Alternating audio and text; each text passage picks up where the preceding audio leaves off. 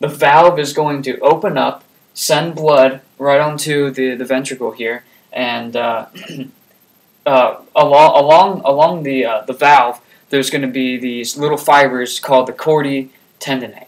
Okay, these are little fibers that are connected to the each cusp, and those are in return uh, attached to papillary muscles, which are hooked onto the wall of the heart, and those muscles are going to pull and, and allow the, the valve to open up actively. So pressure is going to passively open up the valve, and then actively these uh, tendineae and the papillary muscles are going to actively open up the valve and allow blood to come on through. So when the pressure within the right ventricle increases more than the pressure into the right atrium, the valve is going to snap shut. Uh, when you hear sounds of the heart, this is not a sound. Sound, the sounds of the heart is actually from, from when blood hits the wall and then shoots up again. You need air to cause that splash. You know, when you smack your hand on water, you hear a splash, but when you do it underwater, you don't really hear anything. You just may hear a little swoosh. So the sound of the heart is not from the valve closing. Closing. Uh, remember that. Impress your friends. Uh, whatever. Okay, so now we know uh, when the valve opens up, it's going to close because the pressure in here is greater. It's going to push those push those cusps um, back backwards, and blood's not going to be allowed to come through nor go backwards. So now we're, we're good. We're, we're it's like quarantined from from the atria. All right, um, and then the same thing is going to happen with this right here. There's another valve connecting the right ventricle and then the pulmonary trunk. So when the right ventricle contracts, it's going to push blood through this uh, this valve here, which is called the pulmonary semilunar valve pulmonary. Remember, we got that theme of pulmonary uh, arteries, pulmonary trunk, pulmonary semilunar valve.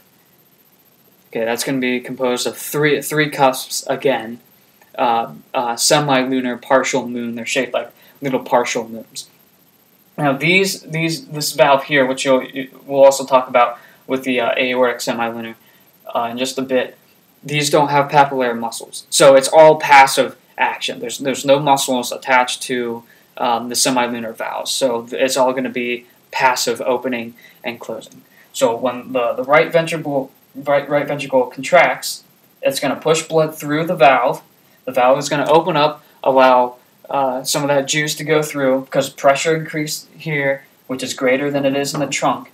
And then as soon as the pressure within the trunk uh, ex- exceeds the pressure within here, uh, by that time uh, the ventricle would be almost fully contracted uh, these these cusps here are shaped like cups. So blood is actually going to come backwards and then push the cups cusps together and close the valve, not allowing blood to go back through again. So again, we we've quarantined the blood from the, the, the heart itself, and now it's within within here, and then we have that that blood pressure, which is allowing for the rate of flow to go from the pulmonary trunk to the lungs and then just, uh, just the, the pressure caused from here is going to allow uh, blood to come back to the heart. So that's that's the pulmonary circulation. That's actually the the flow of blood for the pulmonary circulation, right? So it's going to come in from one of those three uh, entrance veins, the coronary sinus, and then the vena cava, the superior and inferior, going to drain into the right atrium, then go through the tricuspid valve, or the right atrioventricular valve to the right ventricle, and then to the pulmonary semilunar valve,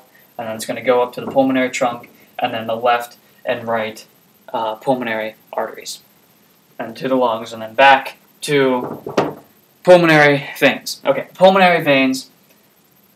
We're going to take the oxygenated blood to the uh, the, uh, the left atrium, and then here we have another atrioventricular valve.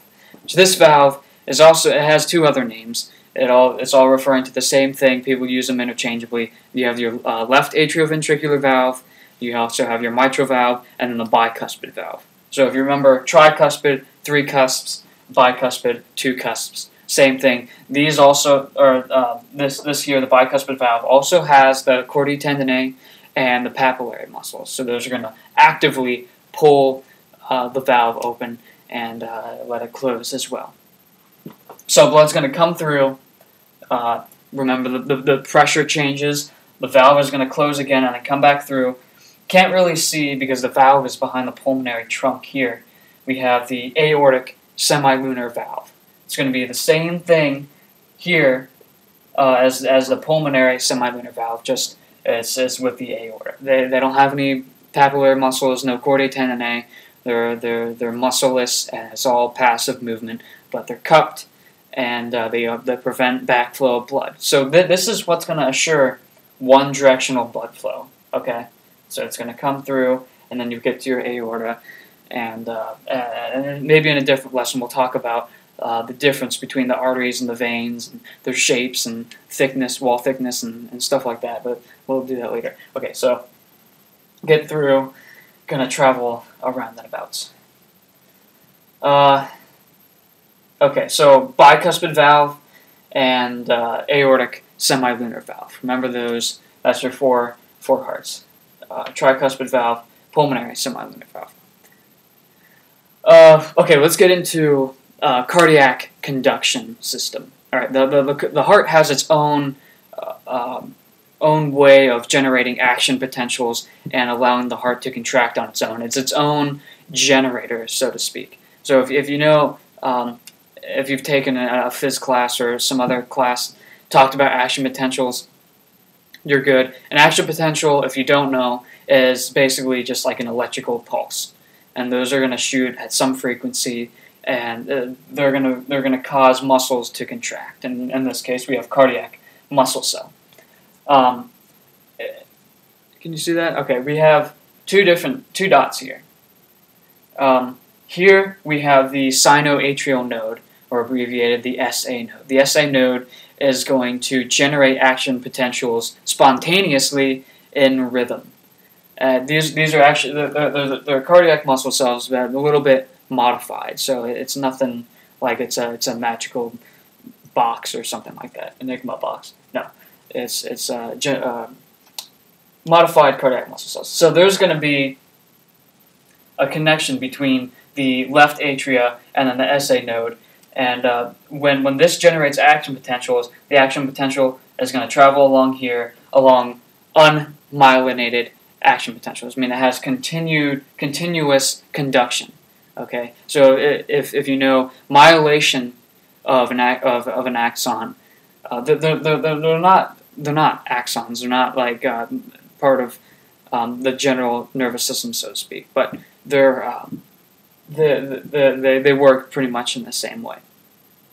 Um, the myelin is just going to speed up and cause saltatory conduction. It's going to cause um, more of a pulse of action potentials than the continuous conduction is here.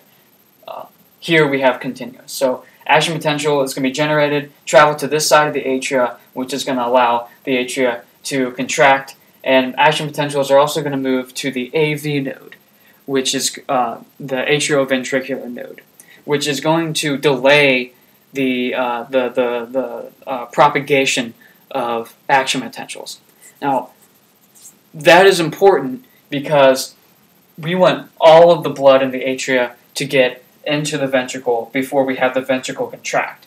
So if we have these super fast myelinated um, at, at, uh, action potential gen- or uh, propagation, we could have the whole heart contracting at this, pretty much the same time, and that's going to be very inefficient. We need some sort of delay from top to bottom, and that's exactly what the heart has. Evolution has miraculously uh, provided us with the coolest tool for um, for providing our, our cells with oxygen and nutrients that we need in order to continue survival.